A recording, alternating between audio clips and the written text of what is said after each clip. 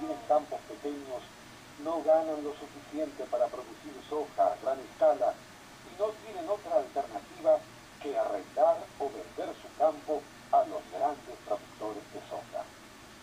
Esto genera una expulsión de pequeños propietarios ¿eh? y una desertificación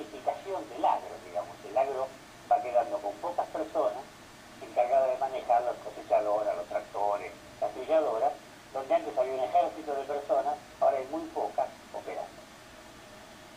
Desde 1990 hasta 2002 desaparecieron 60.000 estaciones